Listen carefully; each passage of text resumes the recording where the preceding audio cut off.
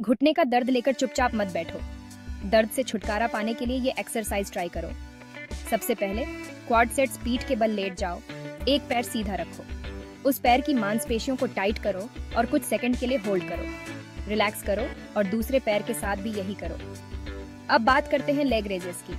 लेटे लेटे ही एक पैर को धीरे धीरे ऊपर उठाओ और फिर नीचे ले आओ। इससे तुम्हारी जांघ की मांसपेशियाँ मज़बूत होंगी। तीसरी एक्सरसाइज है ब्रिज पीठ के बल लेटो, घुटनों को मोड़ो, पैर ज़मीन पर सपाट रखो। अपने हिप्स को ऊपर उठाओ होल्ड करो और फिर नीचे ले आओ। चौथी एक्सरसाइज साइड लेग रेसेस एक करवट लेकर लेटो, ऊपर वाले पैर को धीरे धीरे ऊपर उठाओ और फिर नीचे ले आओ। करवट बदलकर दूसरे पैर के साथ भी यही करो। आखिरी एक्सरसाइज स्टूल स्टेप अप एक मज़बूत स्टूल या स्टेप के सामने खड़े हो जाओ। एक एक पैर से ऊपर नीचे स्टेप पर चढ़ो।